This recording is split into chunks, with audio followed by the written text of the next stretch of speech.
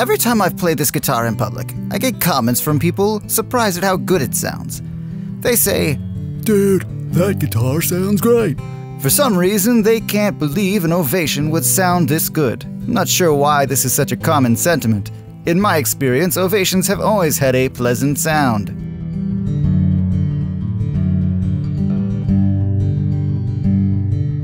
The Ovation Balladeer.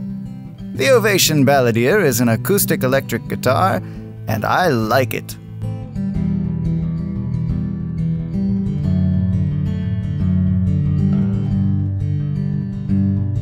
It has Ovation's signature round-back design that sets it apart from traditional flat-backed acoustic guitars.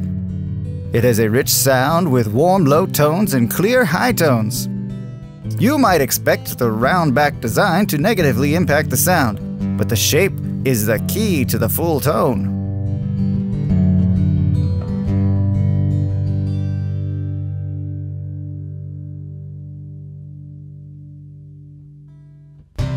Ovation Guitars was founded in the 1960s by Charles Kaman, a guitar aficionado and aerospace engineer.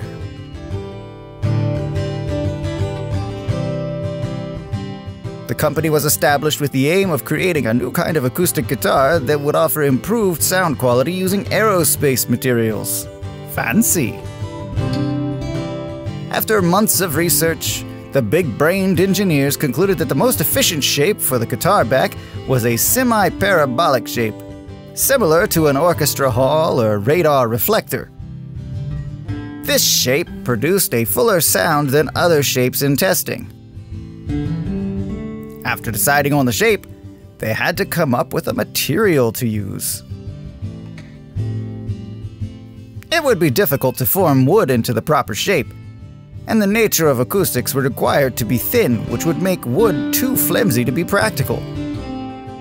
Eventually, the engineers developed a material called Lyrachord. Lyrachord is similar to carbon fiber, making it extremely durable and it can be formed into any shape while still being thin enough for adequate acoustic resonance.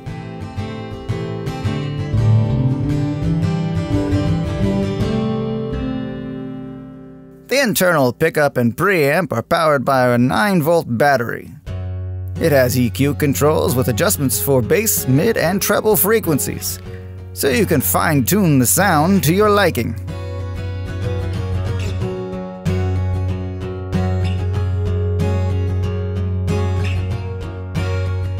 When I was a young man, I was very skinny. And most acoustic guitars were very uncomfortable to hold. They would dig into my bony ribs with their sharp edges. But with its round back design, that's not a problem with the Ovation. The trade off for this elevated level of comfort is that the round back has a tendency to slide down the leg while sitting, a small price to pay for comfort. Playability of this guitar is fantastic. Acoustic guitars typically have higher action than electrics, but the action of the Balladeer is comparable to many electric guitars.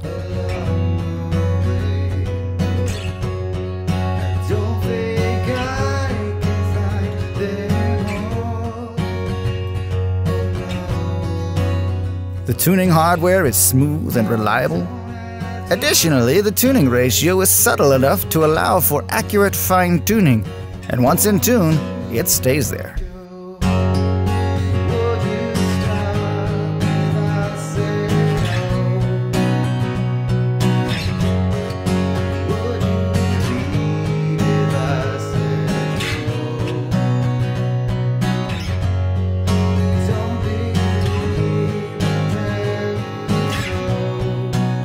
I've heard complaints about the headstock design, but not for any practical reason. People just think it looks weird.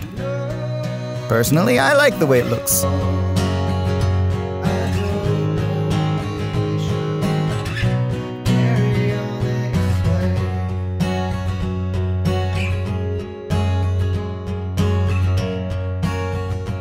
I've played many acoustics in my time Epiphones, Martins, Taylors, and out of all the acoustics I've played, this Ovation is my favorite.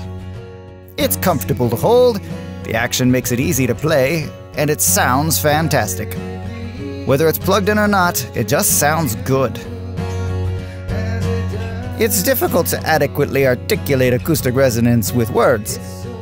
And I'm sure your phone speakers, headphones, or whatever device you're watching this on, combined with YouTube's compression, aren't doing this sound any favors.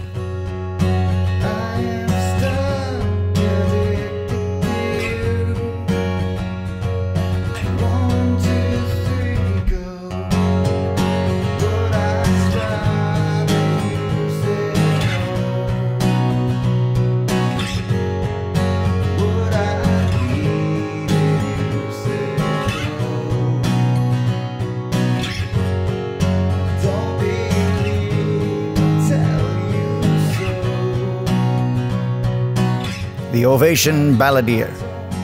It's a versatile, high quality acoustic electric, I'm sorry, electric acoustic guitar that offers a unique sound and exquisite playability. I'm quite fond of this guitar.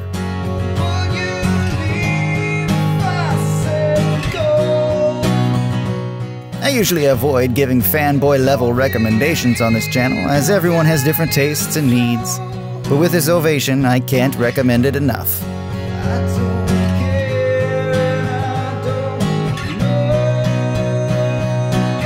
Anyway, that's about all I got for this one. Thanks for watching. Good luck on all the things, and I'll see you later.